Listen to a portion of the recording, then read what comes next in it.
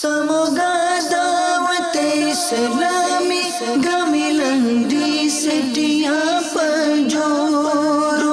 Semoga dakwah Islami gamilang di setiap penjuru.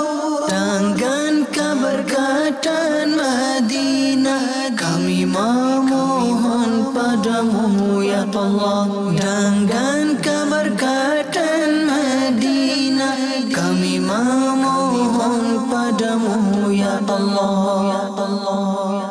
Berkata baik lebih baik daripada diam. Seperti kata para pendakwah yang berkata mengikut syariat dan panduan Quran dan hadis, maka kata-kata ini adalah lebih baik daripada diam. Dia akan dapat ganjaran yang banyak. Kadang-kadang berkata menjadi suatu perkara yang wajib. Seperti orang bertanya, "Hey, adakah kamu orang Islam?" Jadi kamu wajib untuk mengatakan saya Muslim. Jikalau kamu hendak menjawab dengan cara tulisan pun boleh. Janji dia faham apa jawapan yang dia soalkan. Tapi kadang-kadang menjawab dengan lisan adalah wajib. Seperti seseorang datang memberi salam dan kamu menjawabnya dengan menggunakan tulisan, maka tidak boleh kan? Waalaikumsalam. Ketika itu juga dengan suara yang kuat, keduanya adalah wajib. Menjawab adalah wajib dan menjawab dengan cepat juga wajib. Janganlah lambatkannya.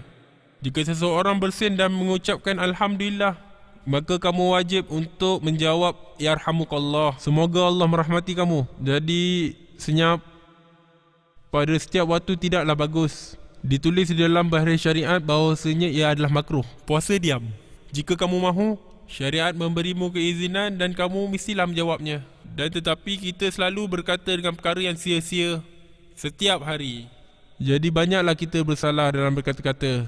Dan banyak dosa yang kita dapat. Tapi siapa yang diam juga boleh diperdaya oleh syaitan. Juga saya. Mereka boleh menjadi marah Siapa yang tidak faham dengan tulisan ataupun kata-kata, maka dia akan marah. Seperti kau tak ada otak ke? Maka bolehlah datang sangka buruk. Jikalau kamu tulis dalam kertas dan tunjuk padanya, dia akan kata kamu gila. Kenapa kamu tidak faham apa yang saya tulis? Maka boleh mendatangkan sakit hati. Dosa juga boleh terjadi dengan tulisan. Dengan penulisan juga boleh terjadi kamu membuka aib orang lain. Dan mengumpat juga boleh terjadi. Maka dosa seperti ini boleh terjadi dengan penulisan yang namanya Kofle Madinah. Pada Kofle Madinah, kamu juga boleh mendapat dosa. Banyak perkara yang boleh mendatangkan dosa. Seperti juga bahasa isyarat yang mana kita panggil Kofle Madinah. Bahasa isyarat pun boleh menjadi lucah dan juga mengumpat. Dengan bahasa isyarat juga boleh menghina orang. Dengan bahasa isyarat juga boleh mengecilkan hati orang. Maka isyarat seperti ini bukanlah Kofle Madinah. Maksud Kofle Madinah ialah Apabila syariat menyuruh kamu diam, maka kamu diam. Apabila syariat juga menyuruh kamu diam, maka kamu boleh menggunakan bahasa isyarat. Dan semua cara ini dengan tulisan dan semua perbincangan ini tidaklah melanggar syariat.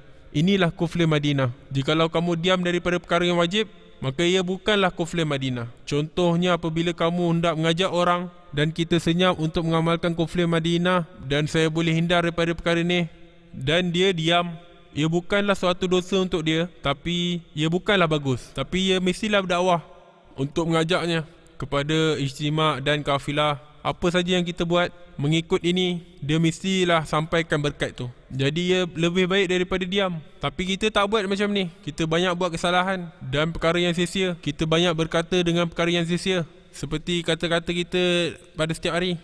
Kita selalu berkata dengan perkara yang tidak faedah dan perkara yang mendatangkan dosa. Kadang-kadang kita berkata tentang politik, tentang menteri, tentang artis, raja-raja. Dengan tak ada sebab kita ceritakan benda-benda sini. Dakwah tidak penting buat kami. Semoga dakwah Islami gamilang di setiap penjuru. Semoga dakwah Islami gamilang di setiap